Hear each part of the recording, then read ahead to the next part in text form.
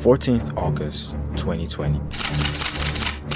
No Barcelona fan can ever forget this date. The Barcelona team which boasted the likes of Gerard Piqué, Marc-Andre Ter Stegen, Arturo Vidal, Luis Suarez and most importantly Lionel Messi suffered the club's most embarrassing defeat in recent memory. This is humiliation.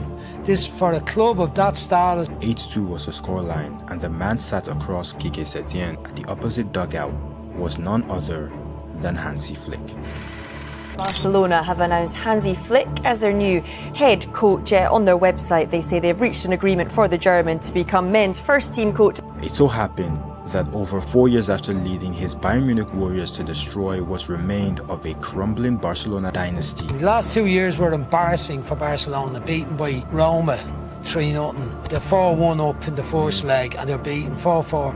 Beaten last year by Liverpool from 3 nothing up 4. He has done the same to the club he once led, this time with a one he helped destroy. Uh, we're Barcelona, uh, we're playing in our football ground. We knew that we had to win here and, and that's how it went. Days after slaying the Bavarian Giants in the biggest game in world football, the Madrid Giants, their eternal rivals, had nowhere to run. A stunning performance from Barcelona, who have hammered Real Madrid 4 0 to go six points clear of their great rivals at the top of La Liga. Hansi Flick has turned Barcelona into a legit nightmare, not just by winning matches and playing better than they did last season, but by doing it in typical Flick fashion, by scoring lots and lots of goals. For a club which has had several ups and downs over the last few years, there isn't much indication that this particular up will become a down very soon. While yes, the team is doing well and playing amazing football, there has been a handful of examples where teams get revitalized and experience an uptick in performance due to the arrival of a new manager only to crumble in the end. When somebody new comes in, things change because everybody does it not a completely different way, but a slightly different way. And when you start off the season the way Barcelona have started, then in your mind, particularly the younger guys, it's about the changes. We weren't doing this last year. Right. Or the previous manager we weren't doing this. While a lot of examples could be extracted from other major football clubs around Europe, one need not look far but to Barcelona itself to see that this was already experienced by the former manager. And with very little changes made to the squad in terms of personnel, could we perhaps entertain the possibility that this might be short-lived or is there anything special about what Flick is doing that would yield long-term benefits for the Catalan Giants? I won some titles with Bayern Munich, and my hunger is really big for titles. And I would like to to stay on this path with Barcelona, and uh, I think we can achieve a lot together. And this is this is the important thing. This is how Hansi Flick transformed Barcelona. Most of us are already aware of the story by now. Barcelona, one of the biggest clubs in the world and home to the brightest young superstars, legendary players and iconic figures of the game, suddenly experienced a massive financial disaster during the pandemic years. After recording the generation of record revenue figures, their financial crisis on the surface may have seemed sudden, but upon closer inspection to how the club was run and how their economics and finances were structured and handled, one could have easily determined that this was a fragile system that would be incapable of handling massive crisis. While the club could not have foreseen a global pandemic even in their wildest imaginations, the slim chance that it happened was enough to throw them into massive financial disarray.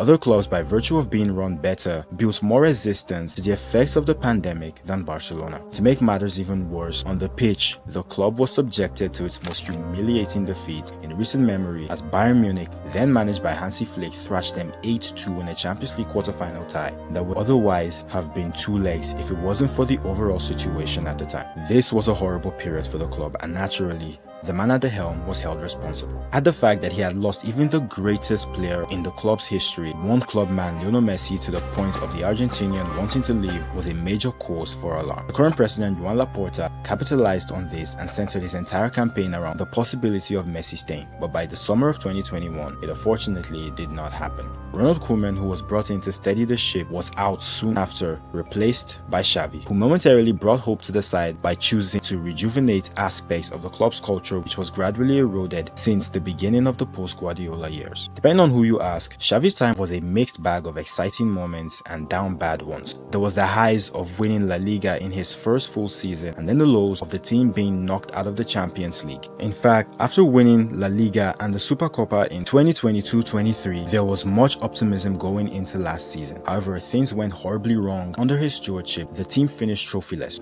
By January 2024, Xavi announced his intent of leaving the club following their failure to reach the dazzling heights of the previous league-winning season. Undoubtedly a hard decision to make, Xavi stated that a toxic situation at the club was having a negative effect on his mental health. These days, Xavi feels isolated. He lost authority when directors Matteo Alemany and Jordi Cruyff, allies with whom he had a very good relationship, were taken away from him in the summer and in came Deco, closer to the president's way of thinking. It has been said Deco shares misgivings regarding Xavi's ability to do the job and is not afraid to state them privately. But when he meets the manager and they're both next to the president, the support for Xavi is unanimous. Laporta even hopes he can change his mind to remain in the post longer, or so he tells the manager. Laporta had reportedly been meddling in Xavi's affair, sometimes directly overruling his manager's decision. One example of this was in December 2023. Barca had already qualified for the knockout stages of the Champions League, so Xavi picked a weakened squad for the trip to Royal Antwerp. Key players like Ronald Araujo, Robert Lewandowski, Frenkie de Jong, and Ilkay Gundogan were set to be left at home to be rested, but at the last second, Laporta overruled his coach Araujo, Lewandowski and Gundogan traveled with the team on the president's demands. Barca, regardless, lost 3-2. Now back to the issue of Deco. Apparently Xavi wanted Real Sociedad's Martin Zubimendi as the replacement for the departing midfield veteran Sergio Busquets. The central midfield was a very important role and had to be filled, with the club even being linked with the likes of Bayern Munich's Joshua Kimmich. Whenever players like Kimmich were brought up, concerns were immediately raised over the club's ability to bring him considering their financial situation. Imagine all this going down and then the sporting director decided to bring in a forward, forcing the club to turn to Southampton's Oriol Romeu to fill Busquets' shoes. It also didn't end well for Vitor Roque. After not getting the amount of game time he wanted, he was immediately loaned out to Real Betis just months after he signed. At the end of April, after the team's performance had improved, both domestically and in Europe, Laporta was set to have summoned Xavi and the Barcelona board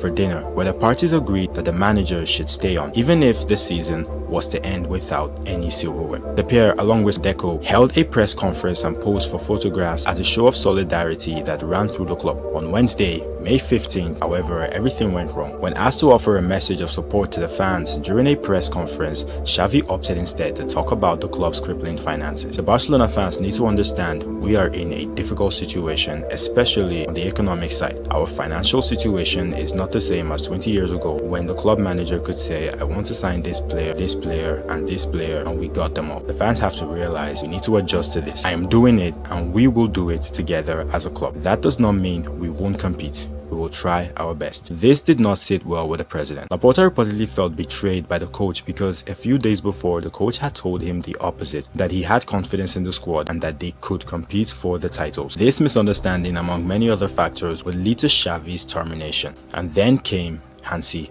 Flick. Barcelona have announced Hansi Flick as their new head coach. Uh, on their website, they say they've reached an agreement for the German to become men's first team coach until the 30th of June 2026. While Flick may be credited for inflicting an immeasurable amount of trauma on Barcelona as a club, the profile of the Hansi Flick that beat them in 2020 was not the same as a profile of the Hansi Flick they hired in 2024. Since that legendary 8-2 win over Barcelona, he since left the Bayern job to take over as the manager of Germany replacing his former boss Joachim Löw after the Euros, which took place in 2021 ahead of the 2022 FIFA World Cup. As every manager who has ever managed at both club and international level will tell you, managing at club level is very different from managing at international level. Following Germany's disastrous World Cup campaign during which they suffered an embarrassing group stage elimination, the seat at the German dugout was getting very hot. And soon, by September 2023, Flick was out the door. German FA has decided following a board meeting that national coach Hansi Flick, as well as his two assistant coaches Marcus Sorgand and Danny Röhl, are relieved from their duties with immediate effect. One of the shock results of the weekend, albeit in a friendly,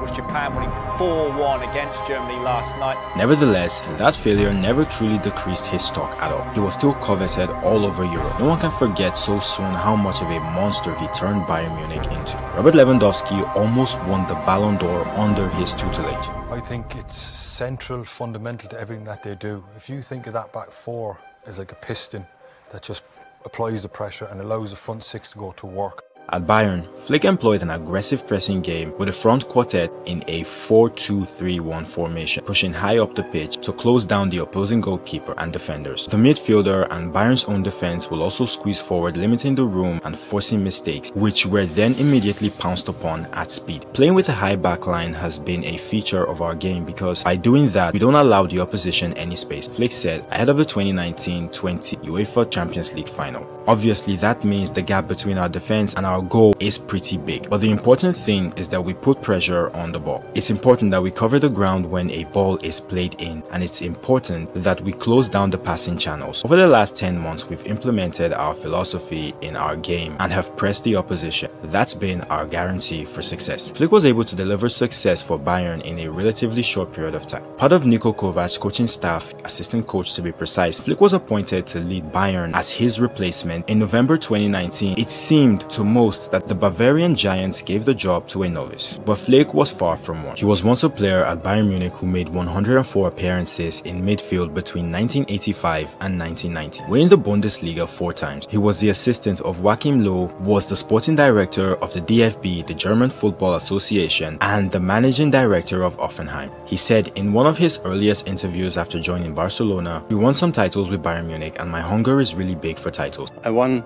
some titles with Bayern Munich, and my hunger is, is really is really big for titles. And uh, I would like to to stay on this path with Barcelona, and uh, I think we can we can uh, achieve a lot together. Flick seems to be getting things right. Laporta likes him as a manager, even attempts to bring him to the club while he was considering sacking Ronald Koeman, but Flick's role as Germany manager, a role he recently accepted at the time, got in the way of this, with the German politely declining the president's offer.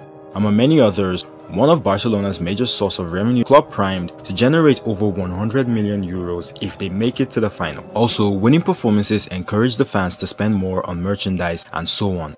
Barcelona has one of uh, of the best academy in the world, and uh, they have a mixed, good mix between experienced player and also um, and also the young talent player and I think we have we have to improve them that they can improve. And this is our job to work together with, with Deco with uh, the president Laporta it's for me it's very important the teamwork. In Barcelona he inherited a squad filled with several gems homegrown gems I might add in the likes of new superstar Lamine Yamal Pablo Gavi Pau Cubarsí Alex Balde and although not homegrown but nonetheless in the category of Barca's brightest future prospect Pedri Gonzalez. Mix them with the likes of new signing Dani Olmo Ronald Araujo veteran striker, a player Flick worked with at Bayern Munich, Robert Lewandowski, Rafinha. Experienced players to guide the youth, you have a recipe for a super team. Flick has been identified by Laporta as the right man to lead it. The philosophy uh, they have. It's, uh, it's similar like mine, so ball possession and, and really attacking football.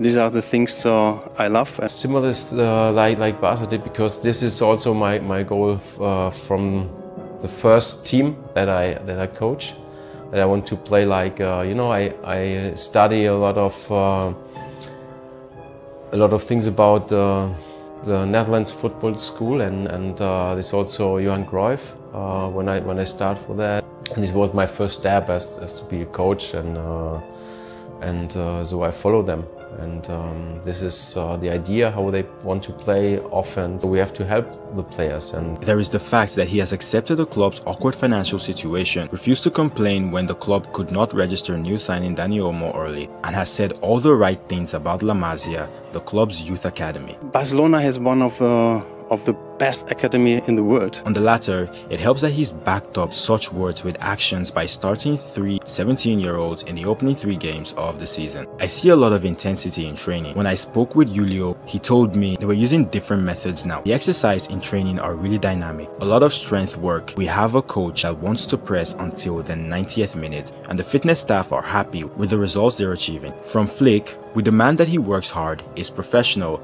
intense, and gives us the style of football we like. The president said when asked about expectations, he's laying the foundations to achieve the objectives we set ourselves, but we have not set out to any specific trophy. What Flick wants is what we want. Such encouraging words from the higher ups early on is very important as this would lay the foundation for what will become of their relationship. We start though with a stunning performance from Barcelona who have hammered Real Madrid 4 0 to go six points clear of their great rivals at the top of La Liga. It's all Hansi Flick at the moment. His team has been a joy to watch. Their rhythm, flow, coordination, everything at the moment is top notch. Notable wins they picked up includes their 7-0 thrashing of Real Valladolid, the 5-1 wins against Villarreal and Sevilla, and the recent headline makers, the 4-1 thrashing of his former club Bayern Munich, and the 4-0 decimation of eternal rivals Real Madrid at the Santiago Bernabeu. Not many saw this coming. He's happy living in Barcelona. yeah, it's Hansi Flick's loving oh, it's, the weather's great, you know, the team's playing great, everybody loves him and he's enjoying it, his players are enjoying it. You know, I, I said it before, I'm, I'm really happy for the fans, for the fans because uh, they deserved it and, and also like they support us and in the last weeks uh, was, was really great. The connections, again, the connections uh, between the players, the team, um, and also the supporters uh, in the club. It's, it's, it's, it's really great. Life is good for Barca. The players are playing well, the young players are developing at a steady rate, especially Lamine Yamal, who just keeps on proving that he can handle the big leagues, getting even more comfortable on the pitch with every passing game. One of the major points of focus during Xavi's tenure was a solution to the big Busquets-shaped hole in the midfield. Flick had even more problems on his hand due to the summer exits of Oriol Romeu, Sergio Roberto, and Ilkay Gundogan, leaving him with very very limited options in midfield. Briefly, Marc Bernal from Barcelona Athletic occupied that role and was excelling tremendously before unfortunately suffering a season-ending injury. As part of his impressive ability to adapt, Flick decided not to dwell too much on having the perfect player in there and changed his approach to focus on who can support the player there and how can he lessen the burden in the Busquets role. High pressure leading to fewer defensive transitions in the start and then there's Pedri who drops into deep midfield to orchestrate play and take attention away away from whoever happens to be playing there on any given day. What's remarkable about Flick's Barcelona is how quickly they adapt to different situations. If an opponent dares to press high, Pedri drops deeper, helping the team bypass the press with quick, intricate combinations. This has often involved Dani Olmo, whose composure under pressure is invaluable. Before the opposition even realizes what happened, Barcelona has moved the ball through the lines and the press seemed like such a threat moments earlier is rendered useless. But for all the focus on what Barcelona does with the ball, it is what they do without it that truly separates great teams from merely good ones. On the flick, Barcelona presses intelligently, using their forwards and midfielders to suffocate the opposition's build-up. Pressing is often very nightmarish for opposition players. It's central, fundamental to everything that they do. If you think of that back four